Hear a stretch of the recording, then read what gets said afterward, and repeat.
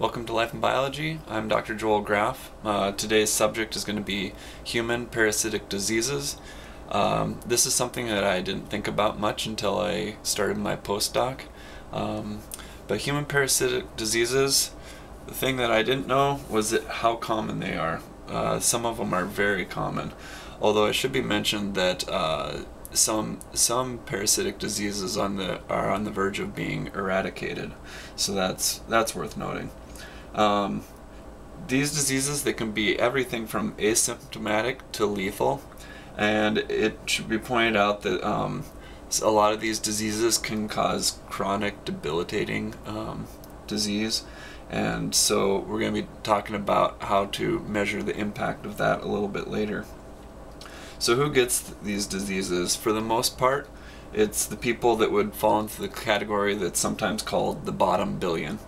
Um, these are people that live with poor sanitation, poor housing, poor nutrition. Uh, they're just uh, more prone to getting more prone to getting human parasitic diseases. Now I said bottom billion, but the thing to know is that some of them are actually capable of infecting billions of people. So the two major categories of uh, endoparasites in humans are protozoans and helminths. And uh, just to give you an idea how common these are, a Toxoplasma gondii, gondii that causes toxoplasmosis, roughly 3 to 4 billion people in the world have this. Um, some countries as high as 95% of people. Um, some of that is due to sanitation, but some of it is also due to things like uh, eating raw meat. Um, when I was in Ethiopia, uh, it was it was one of the one of the favorite foods was a, a raw beef uh, meal called kitfo. Um, and then other diseases like plasmodium uh, or parasites like plasmodium they they cause malaria 3.2 billion people live in areas where Plasmodium is endemic. Now, uh, far fewer than 3.2 billion actually get disease each year, but probably uh, quite a few people get infected but don't show signs. Um, helminths, these are worms.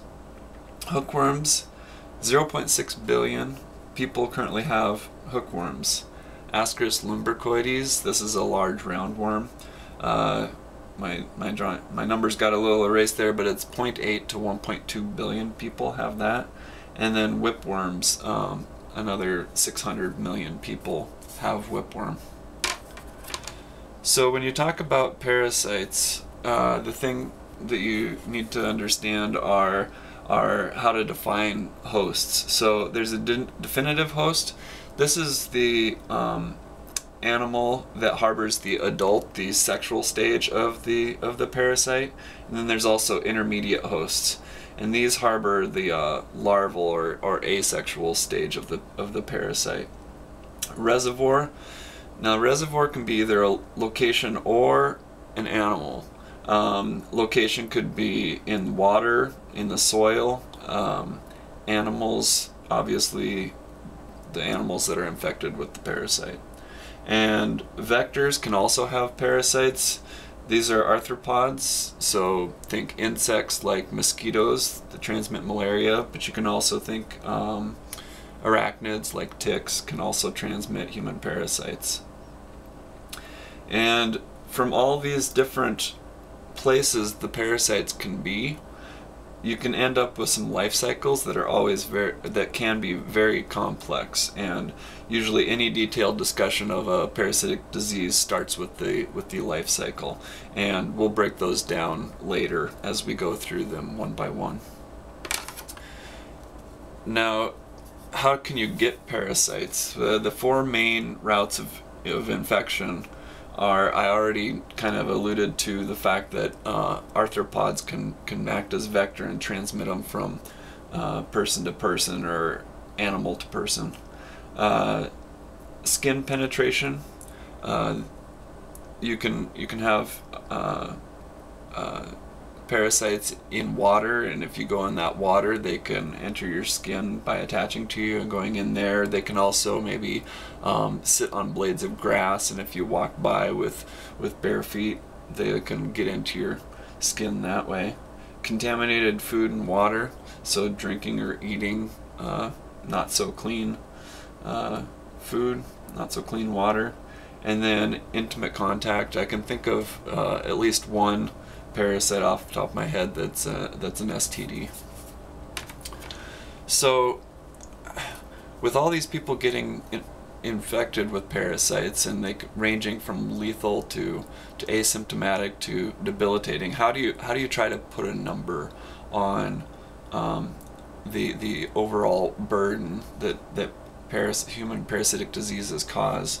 And there's a, a term I want to bring up, and it's called a DALY. DALY stands for Disability Adjusted Life Years. And what this is, is it's the sum of, of, of two numbers. It's the number of years of potential life lost. So if, if a two-year-old dies from malaria and they live in a country where that two-year-old could have expected to live 60 years, that's 58 years of life lost. It can also be years of productive life lost. So if someone has, uh, let's say, elephantiasis or something like that, they they um, often get stigmatized. They often get to the point where they can no longer hold a job, um, and so that can that that doesn't kill the person necessarily, but it definitely uh, has a huge impact on their life. So disability adjusted life years is typically the uh, a good metric for talking about parasitic diseases, and these numbers they they end up in the millions of, of disability li adjusted life years every year. Um, but just to to wrap this quick intro to human parasitic diseases up, I wanna I wanna give you a quote from Joseph Stalin. He was said to, or he is thought to have said, "The death of one man is a tragedy, and the death of millions is a statistic." And because of that, when I teach uh, uh, teach parasitic um, uh, classes on parasites in at, at college, I often start with say a picture of one little girl that is um, is suffering from malaria uh, or, or things like that, um, just to bring it down to the think about that one person whose life is just getting destroyed by this parasite. Because just to say 500 million people die each year of malaria that's just a big that's just a big number. Not 500 million half a million uh, people die each year from malaria. That's just a very large number uh, and can get confused with other large numbers obviously. Um, but if you say someone dies of a kid dies of malaria every 30 seconds uh, that brings it to a much much uh, more personal level anyway uh, that's the that's the intro to human parasitic diseases. Got some de definitions in there. Talked about DALYs. Uh, we'll we'll come back to parasitic diseases. Um, I especially want to talk about leishmania, the disease that I uh, leishmaniasis, the disease that I study um, in in future episodes. So, thanks for watching, and I'll see you soon.